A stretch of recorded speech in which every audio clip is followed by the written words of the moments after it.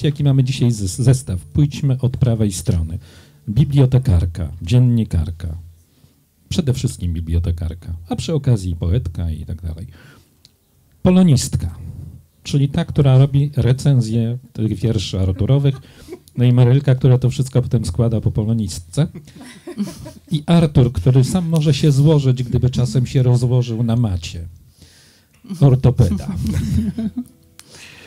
E, dziękuję wszystkim za przybycie. E, było nam niezwykle miło rzeczywiście, no, przed taką publicznością grać, no to... Mamy tutaj właściwie przedstawicieli aż od Mińska, tak? Paulina Juckiewicz, tak? Pięknie. Bielsko-Biała, właściwie e, Jasienica. To i na scenie, i na widowni. Pan Janek, znaczy Janek z Dolnego Śląska, z samego Wrocławia. Pan Zbyszek, Zbyszek.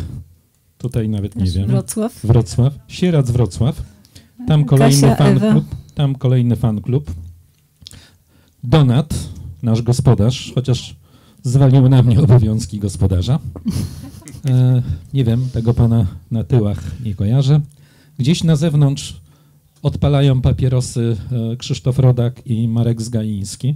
Marek Zgaiński, pisarz, poeta, teraz już bardziej pisarz, e, reżyser, e, Dziennikarz. dziennikarz. E, Długo pracował w radiu, wytrzymywał z takim moim kolegą Czesławem Markiewiczem, też zacnym poetą z Zielonej Góry, ale jak on to przetrzymał przez kilka lat, to nie wiem.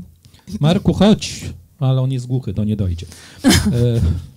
No, no nie tak powiedział. Jerzy Stasiewicz, pisarz, poeta, Tak, to już mówię. dziennikarz Wszystko naraz. Także mamy, mamy i tutaj. fan wie innych słów, No bo właśnie. inaczej by nie przyjechał, Słuchajcie. nie mam nadzieję. Są dwa warianty. Albo wykupicie wszystkie domiki i płyty, e, albo kapelusz. Ale proponuję, proponuję tomiki wierszy e, i marylki. Kto jeszcze nie ma, to zapraszam. Właśnie nie Jeszcze wiem. O właśnie, tu chciałabym- jest ten Marek też.